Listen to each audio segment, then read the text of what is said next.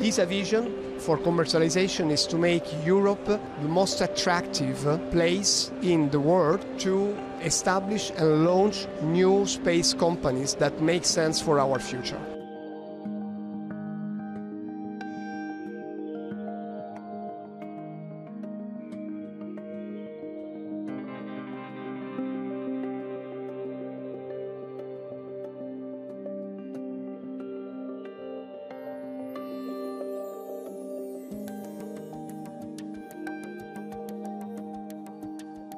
In the past 20 years or so, the space race has become something more than simply a geopolitical race.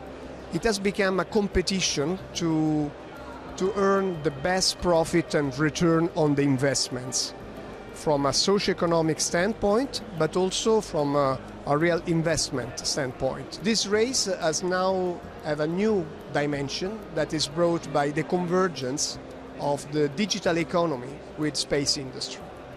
This is bringing new opportunities, but also a new appetite for risks, new risk culture, new ways of development.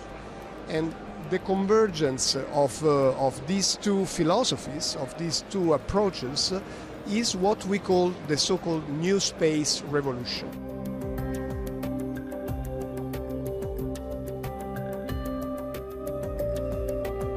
Europe is rich of uh, brilliant engineers and scientists, but we have to ensure that new generations uh, of entrepreneurs stays in Europe and establish their companies in Europe and do not move uh, elsewhere.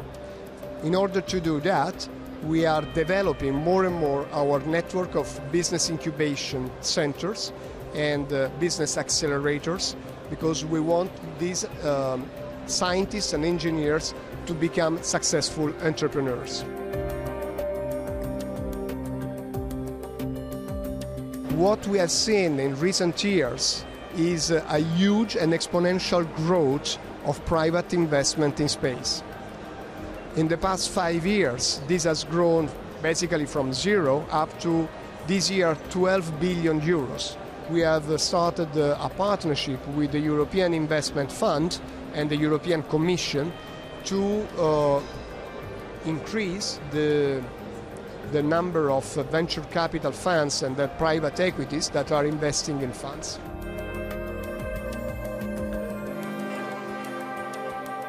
In order to attract investors, our projects needs to be much faster.